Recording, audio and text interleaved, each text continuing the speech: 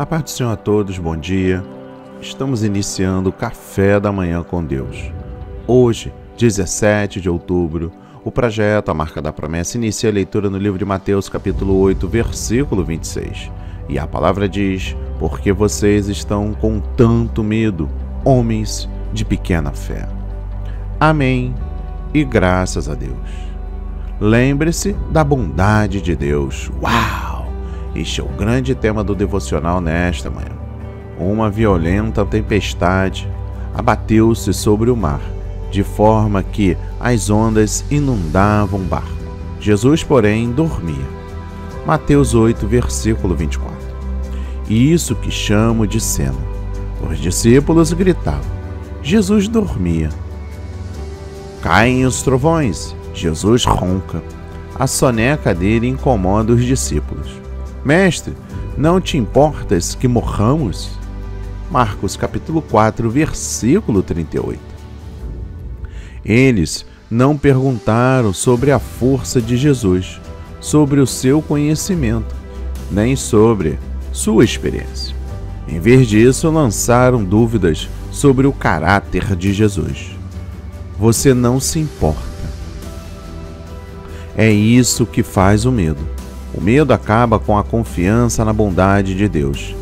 Ele também embaralha a memória. Os discípulos tinham motivo para confiar em Jesus. Aquela altura já tinham visto Jesus, curando todas as enfermidades e doenças entre o povo. Mateus 4, versículo 23. Os discípulos já tinham testemunhado Jesus curar um leproso com um toque e um servo com apenas uma ordem. Mateus 8, versículos 3 e 13. Você acha que eles lembraram das realizações de Cristo? Talvez não. O medo cria um tipo de amnésia espiritual.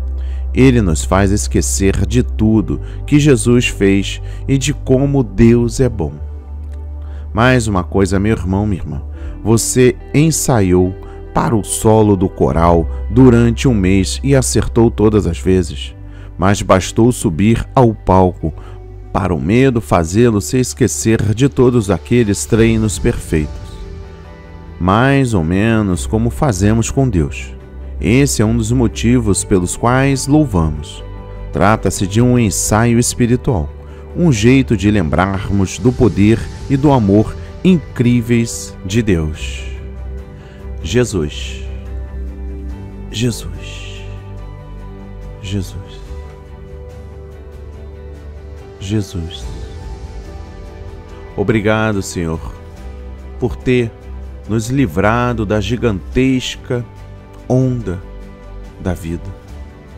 Ela vem de uma forma silenciosa, nos arrasta, leva para o mar, nos envolve de tal maneira que não há tempo de pensarmos qual decisão que devemos tomar entre ficar na areia ou nas chacoalhadas da vida. Esta onda gigantesca, ela vem arrastando, destruindo cenários.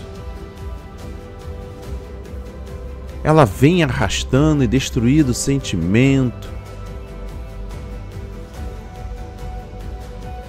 Mas a palavra diz que Jesus é o mesmo ontem, hoje e eternamente. Jesus diz que no mundo teremos aflições, mas para, para termos bom ânimo, porque Ele venceu o mundo. Jesus pede para que nós tenhamos fé. Jesus não pede para que nós Chutemos o pau da barraca, sentemos na esquina, pegamos uma garrafa de cerveja ou uso de entorpecente e faz dele um instrumento de paz.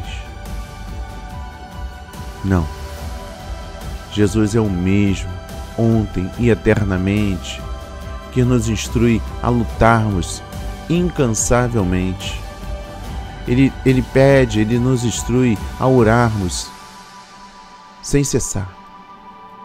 Ele pede para depositarmos nossa confiança, passarmos os nossos julgos, os nossos fardos para Ele.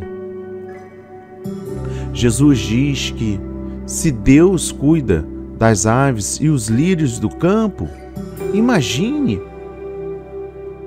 aqueles que é a imagem e semelhança do Pai.